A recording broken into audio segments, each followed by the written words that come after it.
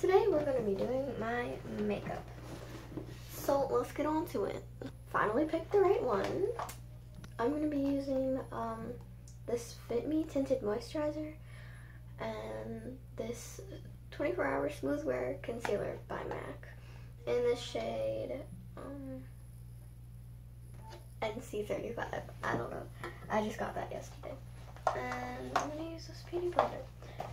So for this, I obviously want to like not really use it that much because I usually only use it on these little vitiligo, I don't know, spots. Um, and then I use more of this because it's more full coverage on here and under my eyes. You can tell that I didn't get sleep last night.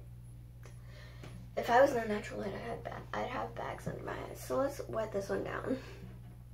So this is wet down, and that's when we're gonna use my um, tinted moisturizer. I'm not gonna put it all over my face because I have learned the lesson um, to not do that.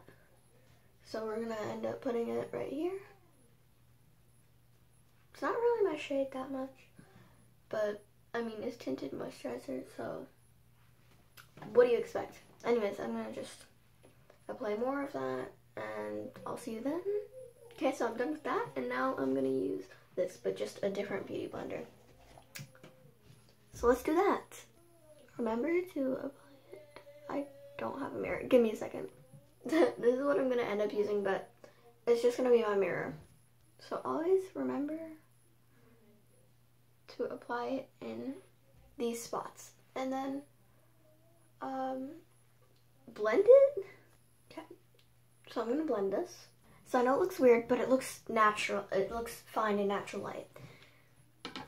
Because my phone and this lighting is just really weird. It looks like that, for an example. I'm just gonna keep this light on because it keeps it looking like natural light. Okay, so I'm done with that. I always do blush last. So let's get on to the eyeshadow. So these are the two brushes I'm going to be using, the more defined brush and the blending brush. So let's find a color. I think I'm going to choose probably around these colors. So let's do that. So I'm kind of, look, it's natural, it looks nice. So we're just gonna do that. Um, next up, lips. So, let's just dig into this bag. Let me find out. Here is what I, this is what I'm gonna be using. NYX Professional Makeup Butter Gloss in this shade, um, Angel Food Cake. I had this last year and I loved it, and I got it for my birthday. So, yeah, let's just put it on. So I personally think that's like the best shade especially for like my, you know, skin color, blah, blah, blah. Um, yeah, I'm gonna brush my hair after this.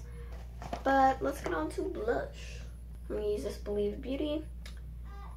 Um, so let's just put that on my cheeks. So bam, I am done. Let's brush my hair to see the finished look.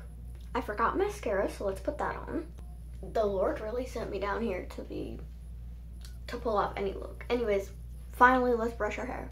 This is the finished look. I hope you guys enjoyed. Uh, like, subscribe, and don't share because that's giving me self-conscious vibes. Anyways, goodbye.